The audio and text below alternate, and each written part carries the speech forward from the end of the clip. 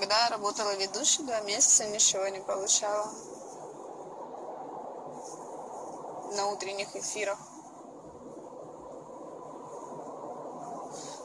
Сколько платили? Мне платили 88 тысяч рублей в месяц. И то с третьего месяца. Э, Вся такая на понтах. В чем понты-то?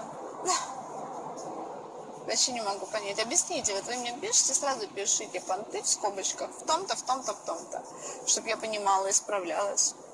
Поставлю себя в угол, ремнем отшлепаю, накажу. Ну, мне же надо как бы объяснить самой себе за что.